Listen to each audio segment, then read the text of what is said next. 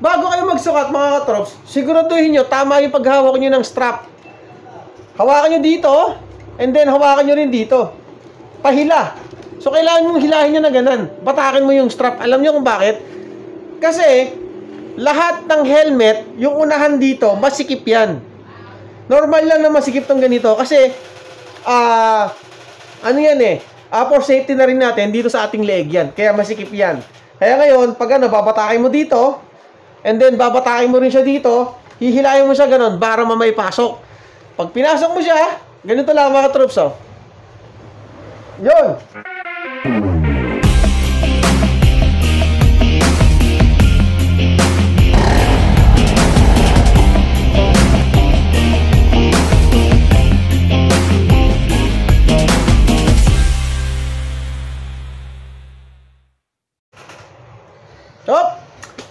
Eto na! Simulan na natin mga katrops kung papaano ang pagpipit o yung tamang fitting ng ating mga ulo sa helmet na ating bibilhin. No, mga katrops. Kaya syempre, nandito ang ngayon sa Helmet House. Uh, Katapatan Noms, Cabuyao, Laguna, and yung second branch sila sa Santa Rosa. At syempre, salamat din kay Maos.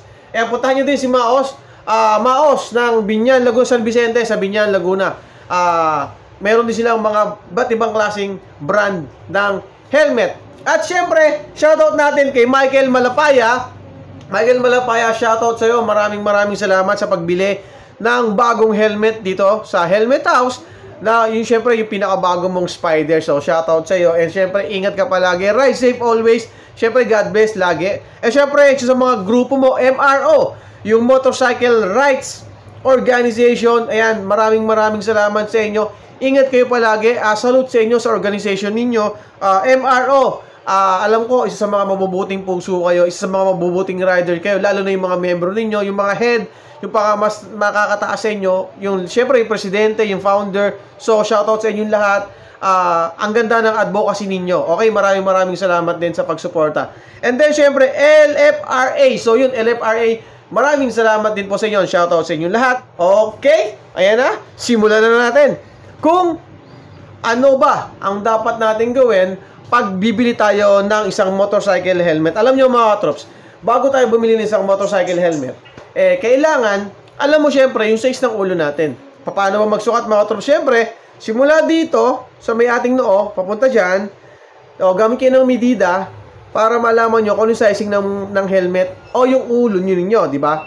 Ngayon, ako, ang ginagamit ko, ang sizing ko dito, uh, 58 cm.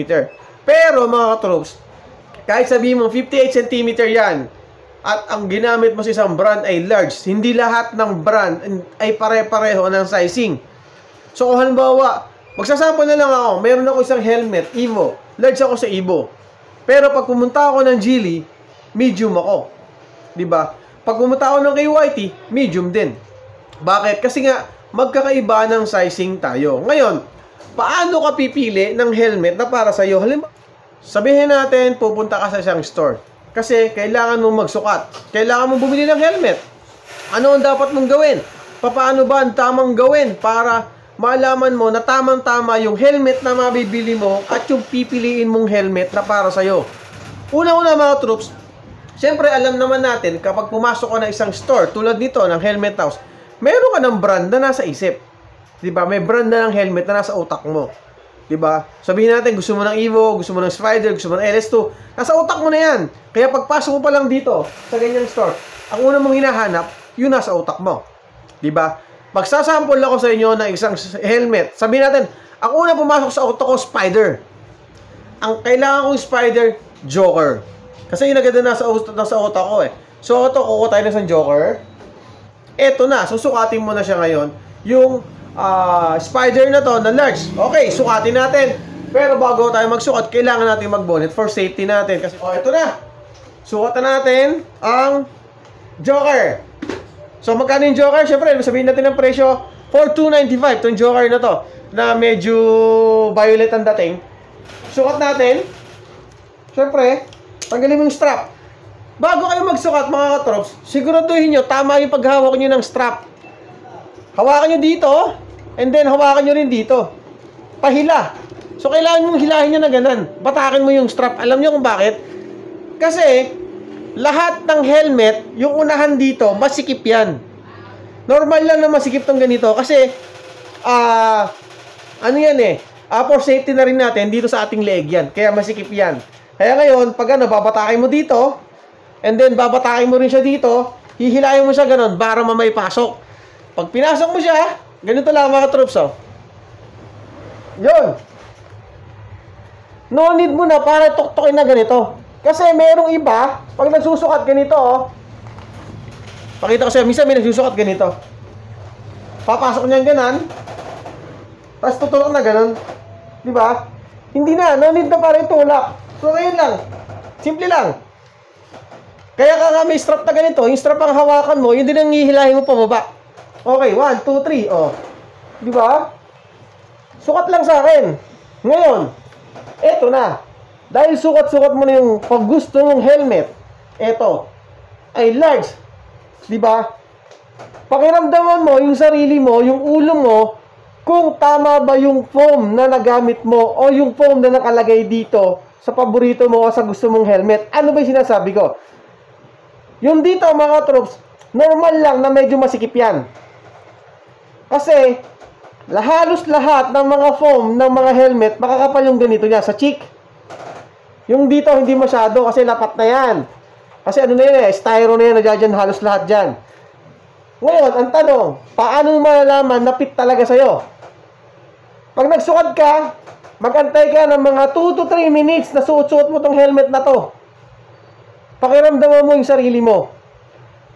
Tingnan mo kung nasakit ang uno mo, nasakit yung ulo mo, sa buong ulo mong ganito, kung nasakit. At doon mo malalaman kung fit sa'yo ang helmet mo. Kung wala ka nararamdaman at tama lang yung fitting sa'yo nito, hindi ka masakit sa tenga, walang masakit sa ulo, tama yung helmet na napili mo. Tama yung size na napili mo. Tulad ngayon, ilang minuto na ako nagsasalita. Ilang minuto ko na pinapakita. Suot-suot natin to. Wala tayong nararamdaman kakaiba sa ulo natin.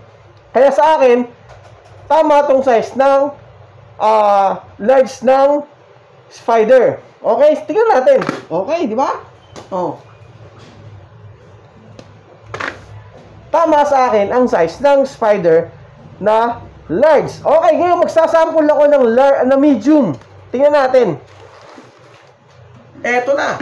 Magsasize ako magkano ako ng medium size ng spider. Ngayon, ito naman, pero pareho siyang phoenix. Pero ang ano naman niya, ah, uh, spy naman tong design nito, pero medium size to. Sukat natin. Ayan o, una pa lang medyo maramdaman masikip. Yun. Ato, dito, nararamdaman mo ngayon na medyo mapisa na yung ganito mo. Medyo pisa na. Yung ulo mo, ayan, pakikiramdaman natin ngayon ng ilang minuto kung tama sa ulo natin. Pero tingin ko maganda tong spider na to. Okay? Ngayon, medium na yung ginagamit ko mga troops. Pinakikiramdaman ko yung sarili ko. Okay din yung foam dito. Hindi nasakit ang ulo ko. Pero ang kailangan ko, 58 cm. Itong medium na to, hindi masyado. Uh, para kung di ako nagkakamali, 56 to 57 to. Kung di ako nagkakamali, ha, mga katrosa, 56 to 57. Pero, okay pa sa akin. Hindi masakit sa ulo, hindi rin masakit sa pisngi. Sabihin, kapag spider ang bibilin ko, mga katroops, Pamo, pare-parehong spider na Phoenix Plus ha, Phoenix Plus. Kahit medium o large ang bilhin ko, nakapit lang sa akin. Bakit? Kasi minsan, nagbabase rin tayo sa pisngi natin. Di ba? Kasi ako mga troops, pag tinignan no, medyo slim lang yung pisngi ko. Ngayon, kung ikaw naman ni medyo mataba ng konti yung pisngi, tingin ko, may hirapan ka gumamit ng medium kasi nga gawa nung dito masyado ka mapipisil dito. Pero ako, na 30, na 58 cm yung ulo ko, pwede akong gumamit ng medium na Spider na Phoenix Plus at pwede rin akong gumamit ng large na Phoenix Phoenix Plus. Ngayon, kung ako tatanungin nyo, ano pipiliin ko?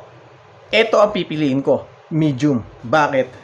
Kasi, mas fit sa akin dito. Mas comfort. Para sa akin ha, kasi magkakaiba tayo ng uh, trip o magkakaiba tayo ng dahilan. Kasi, so ayun, ah pinakita ko na sa iyo yung isang brand ng helmet. Ngayon, kung dadamihan natin ng lahat ng brand ng helmet, baka mamaya matagalan tayo kasi sa dami ng helmet na dito kung isa-isahin natin.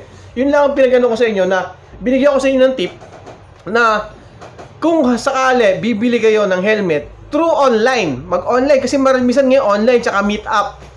Make sure na ah yung consequence ay sagutin nyo. O may consequence talaga yan. Kasi minsan ah hindi talaga nagkakasya o masikip talaga. Kung gusto nyo na makasiguro sa online, ah mag-fit kayo sa mga store na ganito, then saka kayo kumuha ng online. Pero hindi ko sinabing ganun gawin nyo. Pero mali mo, makakuha kayo dito sa ganito.